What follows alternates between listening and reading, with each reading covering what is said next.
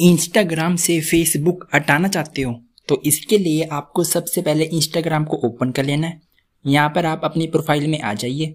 इसके बाद आपको यहाँ पे थ्री लाइन पे क्लिक कर देना है।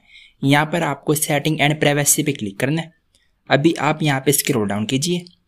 यहाँ पर आपको शेयरिंग एंड रिमिक्स पे क्लिक कर देना है। इसके बाद आप यहाँ पे स्क्रॉल डाउन करेंगे।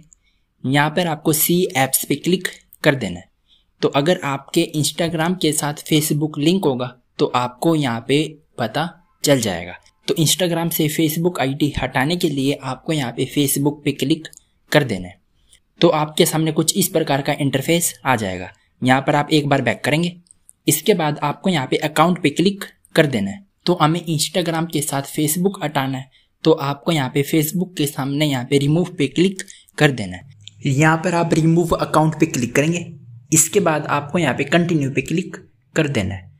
अभी आपको यहाँ पे दोबारा से रिमूव अकाउंट पे क्लिक कर देना है। तो आपके इंस्टाग्राम के साथ फेसबुक अकाउंट रिमूव हो जाएगा।